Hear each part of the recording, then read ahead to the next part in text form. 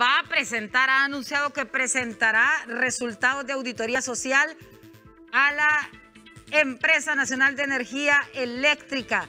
Y el análisis incluye las pérdidas técnicas y no técnicas, cumplimiento de normativas en contrato con EEH y contratos con generadores de energía, negociaciones que favorecen intereses particulares y económicos en lugar de generar beneficios para el pueblo hondureño.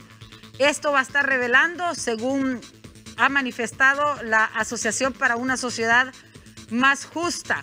El capítulo de Transparencia Internacional en Honduras realizó un análisis de las pérdidas técnicas y no técnicas de la NE y sobre todo lo que es muy cuestionado por la población, el cumplimiento del contrato de la empresa Energía Honduras. Además, una muestra de los contratos suscritos con los generadores de energía. Conoceremos las condiciones en las cuales se han negociado los contratos, no anteponiendo los intereses del pueblo hondureño, sino otros, expresó Carlos Hernández, el director de la ASJ. ¿Qué esperan de este estudio los trabajadores de la institución? María Arteaga nos tiene detalles y además de qué esperan de este estudio cuando ellos aspiran que hayan acciones en el país. Mariel. Buenas noches, Cecia Raquel Mejía, Denis Andino, pueblo hondureño, y preste atención a esta hora de la noche a esta información que nos tiene que dar José Luis Matamoros precisamente.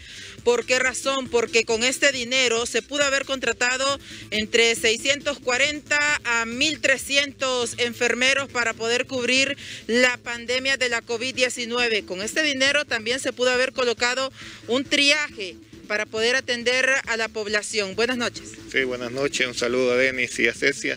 Sí, es importante, ¿verdad?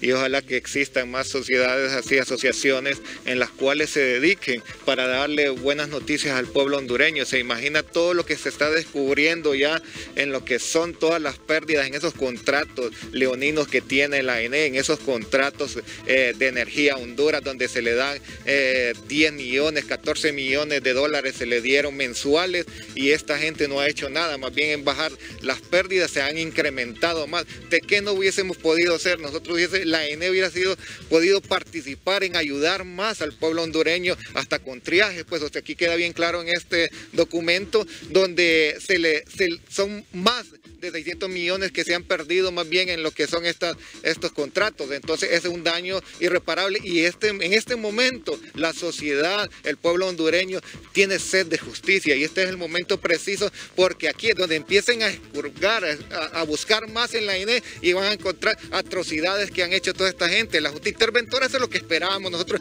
que viniera y diera, empezar a, reflejar todo lo que han encontrado, pero se han quedado callados y los llamo para que este es el momento donde ellos tienen que demostrar para qué fueron contratados y no que solo demuestren que contrataron a personas de ahí del azar que, estaban sin trabajo. Este es el momento que demuestren de verdad que vienen por el rescate de la Empresa Nacional de Energía Eléctrica. ¿Qué esperan ustedes con este informe? Porque además de ello se habla de la empresa Energía Honduras, de contratos que afectan directamente a la Empresa Nacional de Energía Eléctrica.